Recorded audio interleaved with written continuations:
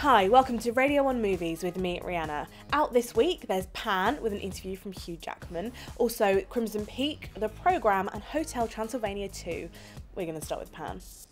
This is a retelling of Peter's story before he became Peter Pan, when Hook was an ally and Blackbeard was the foe. Without me, you're stuck in this cell. Without me, you're stuck in these mines. Okay, then we'll talk about it. Just move away from that wall before you get yourself blown up, all right? So what's it gonna be? Kid. Tick. Tock. Okay, we have a deal. Just. The scope of the film is enormous. There are flying pirate ships, there are these wonderful tribal ceremonies, a lot to look at, and Hugh Jackman is very over the top and a lot of fun. Levi Miller, who plays Peter Pan, reportedly cried when he got the role, so I asked Hugh Jackman if he'd ever cried when he found out he got a role. I don't know if I cried. I was really excited when I got Les Mis. Oh, yeah. Because that was something I really wanted. That was one I said, I really want this. I'm going for it. I'm going to audition for it. So I was really, really, I did, I definitely did a fist pump. Um, yeah, I did a fist bump or two. Um, and then I was like, now I got to do it. Um, but no, I haven't cried in a while getting a role. Slide down. They'll be coming for us. Sadly, this is all undercut by some incredibly hammy acting. Garrett Hedlund, I'm looking at you. It's Hook. The name's James Hook. Happy?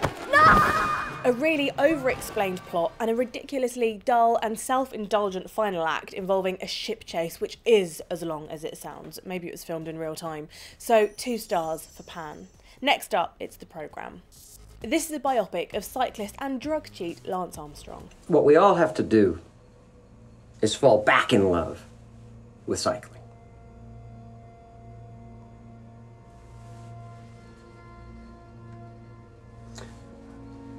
I have never tested positive for performance enhancing drugs.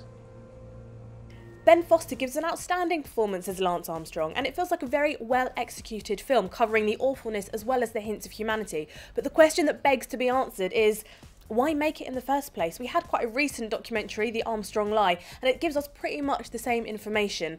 What I was really interested in is what happened post that infamous Oprah interview, and this film stops there as well, so it feels like a bit of a missed opportunity. Three stars for the programme. Next up is Crimson Peak.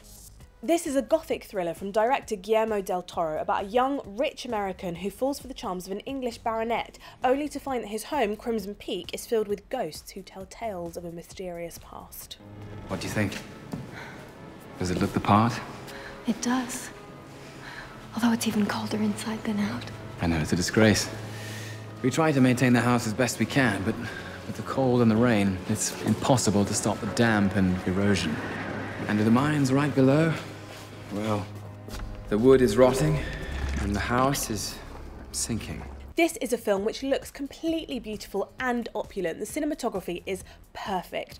I was disappointed with the thriller aspects though. It's like the film thought it was much more complicated and unpredictable than it actually was. The big reveals were underwhelming, but the tone of the performances from Mia Wasikowska, Jessica Chastain, and Tom Hiddleston were just as I hoped they would be. So three stars for Crimson Peak.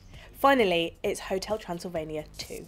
This is the sequel to the animated Hotel Transylvania about a young vampire who falls in love with a human and has a baby. But the big question is will baby Dennis be human or vampire, which is a question that Grandpa Dracula has become obsessed with.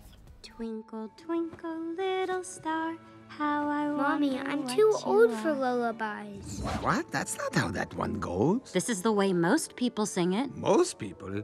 What's wrong with suffer, suffer, scream in pain? Blood is spilling from your brain. Daddy. Come on, you know how I sang it to you.